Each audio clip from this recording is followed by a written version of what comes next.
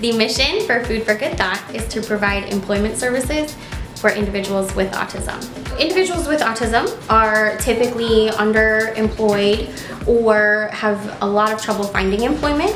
So what we do here is we have a gluten-free bakery that does employ individuals with autism and then we also help individuals with autism look for employment outside in the community as well. Food for Good Thought started in 2009, in October of 2009 and uh, Dr. Todd, the founder, and myself began baking with two employees uh, in the basement of a church uh, just one hour a week and we have expanded into a full service bakery that is open seven days a week. Uh, we started in Franklin County and then we have opened up services in Delaware County as well.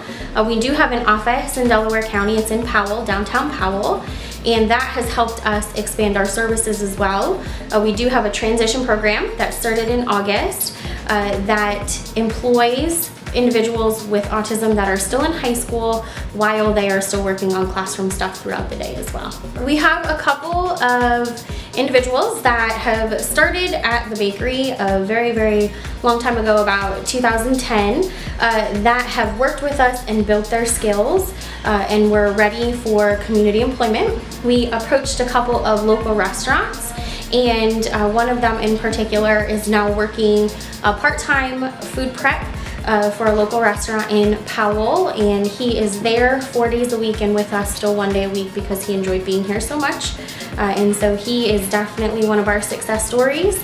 Uh, we do have other individuals that we see on the employment service side of things uh, that very much excel once they get into a position that they absolutely love.